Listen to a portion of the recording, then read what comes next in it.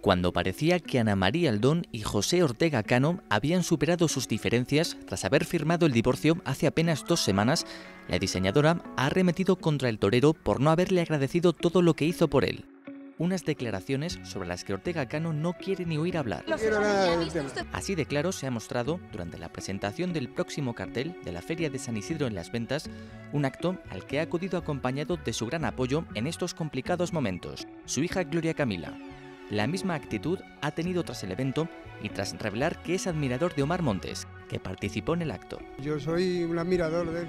A José Ortega Cano le ocupan ahora otros asuntos y no quiere saber nada de Ana María Aldón.